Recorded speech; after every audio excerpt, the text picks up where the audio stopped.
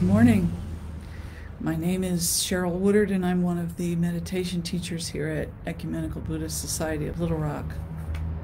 I am uh, doing a series this this summer. I'm doing a series of uh, guided tips and instruction, meditation ideas for busy people when you don't have a lot of time.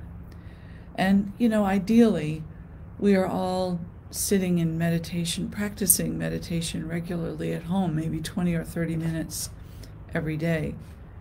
But even when you're doing that, things can happen. So, for example, you get up from your cushion after a nice meditation practice and you feel all mellow, and you open the door and you find that the dog ate your new shoes, or the computer ate your homework, or there's an email and a dear friend broke an important promise. Something like that. And the immediate reaction is strong and powerful and uh, overwhelming. And so Pema Chodron offers a practice that she calls pause practice. And uh, it's just taking three conscious breaths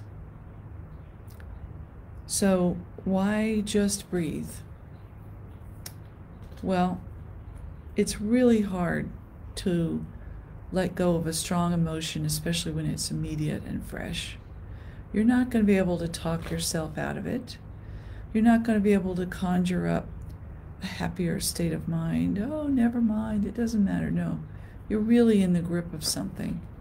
And the best you can hope for is to poke a hole in it and let the air out like a nail in a tire.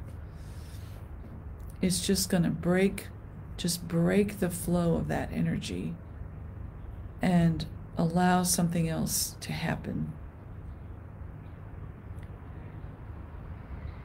So, practice this. We're going to do it right now, but I encourage you to practice this uh, pause idea, this three conscious breaths idea. Practice it regularly when you're not in distress so that it's something that'll come to you quickly when you are. Make it a habit, and then it'll be there when you need it. So, uh, here's how we do it you sit up straight, you know, you just read the email or found what the dog did. You sit up straight, stand up straight. If you have to walk to a quiet spot, Place the hands, your hands on the base of your belly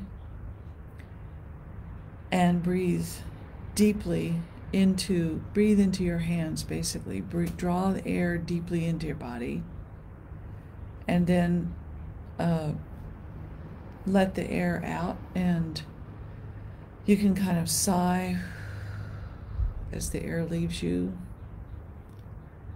Draw it in deeply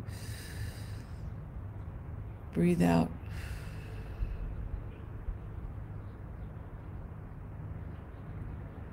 And as you're breathing in, really focus your attention on the breath. Try to feel, actually feel the air entering your body, filling your lungs, filling your belly, reaching your hands. Actually feel, focus on the breath as if it was the most important thing in the world.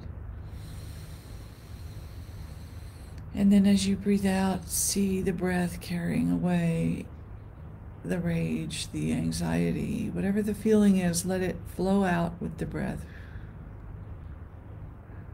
So, three times. And then you can just stop. You don't have to do any more than that. You can just move on.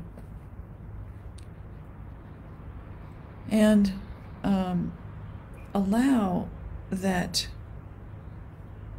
allow something different to happen than what you usually do. And in fact, this is the power of this practice because usually we're stuck in habits.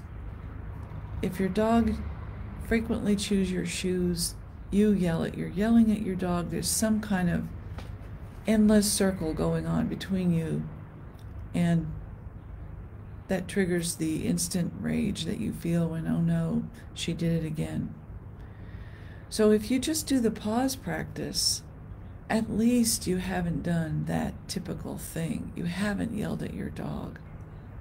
You haven't broken your computer, thrown it on the floor in a rage. You haven't said something awful to your friend.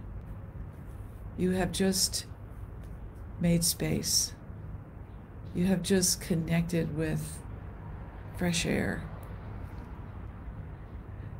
And that means all kinds of other possibilities are available to you right then. You can do anything else but the usual stuff. And it's the usual stuff that gets us in trouble, that causes all of our suffering, really. And so, making this habit of breaking the flow, stopping the flow of that usual cyclical inner reaction, you know, triggered feeling, just break that. Then you begin to become a different person. Really, everything can change in your life. So,